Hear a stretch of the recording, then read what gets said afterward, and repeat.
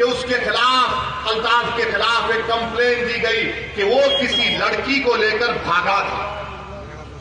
Police लेकर जाती है और बाप कह रहा है कि मैंने जाकर अपने बेटे को पुलिस के हवाले किया। मैंने खुद एक बाप कह रहा है कि मैंने अपने बेटे को ले जाकर पुलिस के हवाले किया कि कर लो आप एहतिखार उस बाप ने अपनी ज़िंदगी की बहुत बड़ी गलती की, जो इन सालिम पुलिस वालों पर भरोसा कर दिया। बाप लेकर गया पुलिस स्टेशन।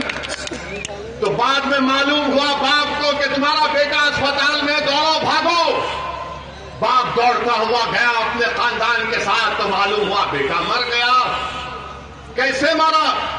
तो बोले, उसने खुदकशी कर ली पुलिस स्टेशन में। कहाँ पर की?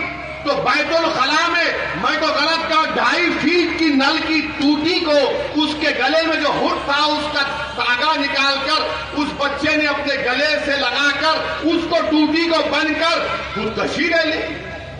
वाह, काशगंज की पुलिस, तुमको तो बहुत बड़ा इनाम मिलना चाहिए कि ढाई फीट की टूटी पर पानी की कोई गले का वो तागा निकालकर अपने गले से बांधकर टूटी को लगाता है, तब भी तो उसके पैर ज़मीन को ही लग रहे उसके पैर ज़मीन को लग रहे कैसे मरता है बच्चा? मालूम हुआ, मैं कह रहा हूँ कासगंज की पुलिस ने अल्ताफ को मारा, पुलिस स्टेशन में कत्ल किया, वो कातिल है तुम लोग तुम दुश्मन हो बच्चों के तुम दुश्मन हो तुमने तुम्हारे पास केस आया। अरे, तुम तहकीकात नहीं, तुम तो मर्डर करना जानते हो।